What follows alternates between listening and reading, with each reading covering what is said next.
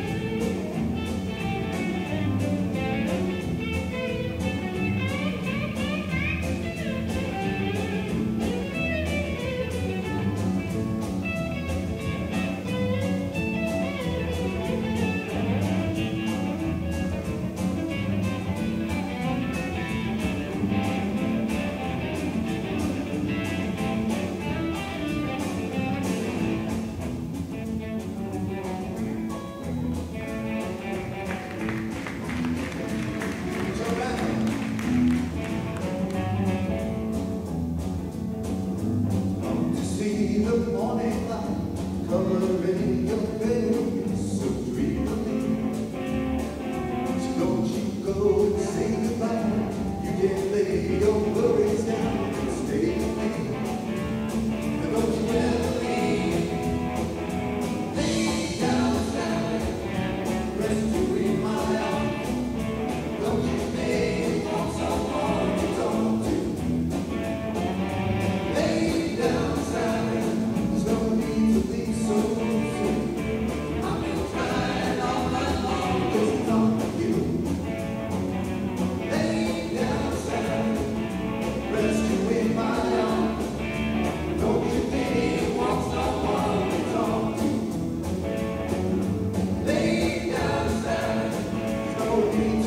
So